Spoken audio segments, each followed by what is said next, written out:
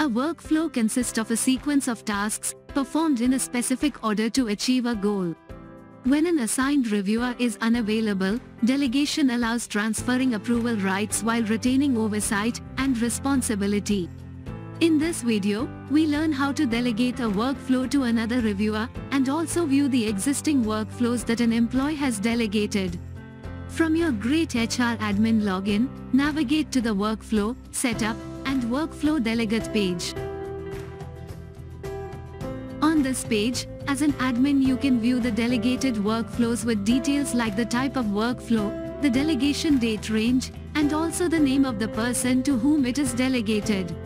Let's now see the flow to create a new delegation on behalf of an employee. Click Add New, select the employee and select the from date and to date. Now click here give the name of an employee to whom you want to delegate the workflow. Click Save.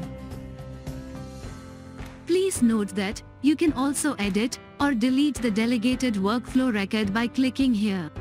I hope you got a crystal clear understanding of delegating workflow to an employee easily.